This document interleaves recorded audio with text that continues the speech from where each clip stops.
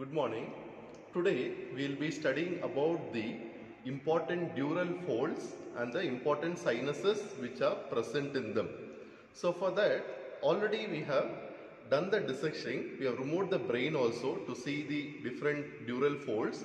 So uh, it's a dissected specimen but uh, for just for the orientation I have kept it uh, like this. So actually this is the vault of the skull which we have cut cut open. So we have removed the vault of the skull.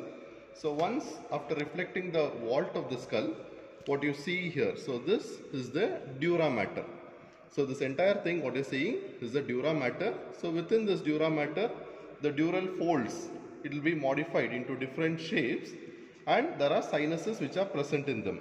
So what we have done is, we have put one more incision here to reflect the dura mater to see the superior uh, sagittal sinus and the falx cerebri. So actually in this region you will be having the superior sagittal sinus. And what you are having over here, so these are the arachnoid granulations. So these are the arachnoid granulations. So these are the from the arachnoid mater. So these are extension into the superior sagittal sinus. So the function is for the absorption of CSF. So now we have made two incision. So and we have reflected the uh, dural fold. So now what you are seeing here. So this is the brain. So the dural folds what you see there are four dural folds. One is the falx cerebri. So what you are having over here is the falx cerebri. So this falx cerebri will be present in between two cerebral hemispheres. So this is one cerebral hemisphere, this is another cerebral hemisphere. So between that, the dural fold what you are having is the falx cerebri. So this falx cerebri is a sickle shaped fold of dura mater. So it's a sickle shaped fold of dura mater. So the anterior end, so now we have already detached it, so it will be attached to the crista galli. So anterior end will be attached to the crista galli.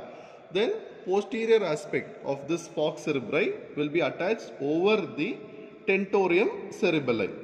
So this falx cerebri, so now if you reflect this falx cerebri, you can see it is having two margins. So outer you can see it is a convex margin.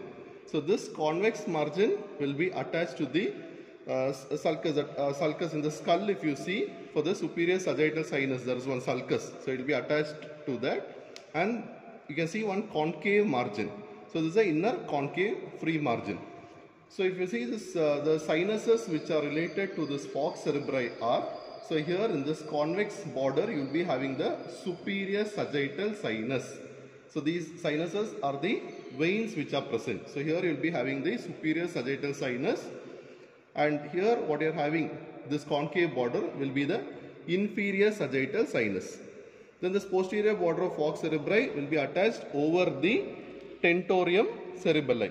So the tentorium cerebelli separate the cerebrum from the cerebellum. So this is the cerebellum. This is the posterior part of the cerebrum. That is the occipital lobe of the cerebrum. So in between that will be the tentorium cerebelli which is present. So for removal of the brain, what we have done is we have cut, cut the tentorium cerebelli. Then only we can remove the brain. So already we have cut, we have removed the brain. So, so we have cut it over the tentorium cerebelli so that even the cerebellum will be intact. Then we have cut below the medulla oblongata also. So we have cut and we have reflected the brain. So now these dural folds what you are seeing. So this is the falx cerebri anteriorly attached to the crista galli posteriorly you can see it is attached to the tentorium cerebelli. So you can see this. So on both sides. So this is the tentorium cerebelli. So what we have done is we have cut here in this tentorium cerebelli to reflect the uh, brain. So the sinuses which are related to falx, uh, cerebri is our superior sagittal sinus, then the inferior sagittal sinus. Then over this tentorium cerebelli, where this falx cerebri posterior end is present, so the sinus which is present over here, so this will be the straight sinus. So sinus which is present over here is the straight sinus. Then on the lateral aspect, it continues as the transverse sinus on both sides. It continues as the transverse sinus. Later, the transverse sinus will continue as the sigmoid sinus. then the sigmoid sinus will open into the jugular foramen. The superior sagittal sinus will continue as the right transverse sinus which continues as the sigmoid sinus which will open into the jugular foramen whereas the inferior sagittal sinus will continue as straight sinus which will continue as the left transverse sinus that will continue as the sigmoid sinus to enter the jugular foramen. So then, then what you see is one more uh, dural fold, what you're seeing here, the small dural fold. This is also a sickle shaped fold of dura mater. So this is the falx cerebelli. So this was the falx cerebri, this was tentorium cerebelli and this is the falx cerebelli. So this falx cerebelli also anterior margin is free whereas posterior margin is attached. So this falx cerebelli will separate on both sides you will have the cerebellum. On both sides you are having this part of the brain that is the cerebellum. So the falx cerebelli will be present in this region which is separating both parts of the cerebellum. So the sinus which is related over here will be the occipital sinus. Then one more sinus what is present, one more dural fold what is present is, so here you are uh, covering this, so covering, so here you will be having the pituitary gland. So actually I have reflected the pituitary gland already for showing the students. So surrounding this pituitary gland is the diaphragma sellae. Then the cavernous sinus which is related is on the sides. So here you are having the cavernous sinus.